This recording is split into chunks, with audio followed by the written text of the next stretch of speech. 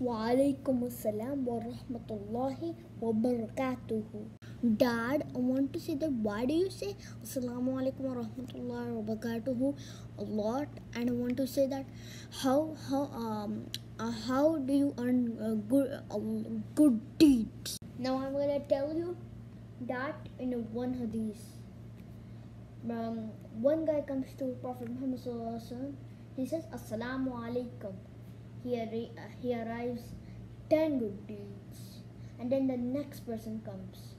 They sit down and then Prophet Muhammad says uh, Wa alaikum assalam. And then the second co- uh, person comes. He says Assalamu alaikum wa rahmatullah. And then he receives 20. Uh, they sat down and the Prophet Uh, after said that after he said walaikum assalam wa rahmatullahi wa barakatuh. After that he said um, uh, you arrived 20 good deeds and then next person came. He said assalamu alaikum wa rahmatullahi wa barakatuh. He arrived uh, 30 good deeds they sat down and then he said walaikum assalam wa rahmatullahi wa barakatuh.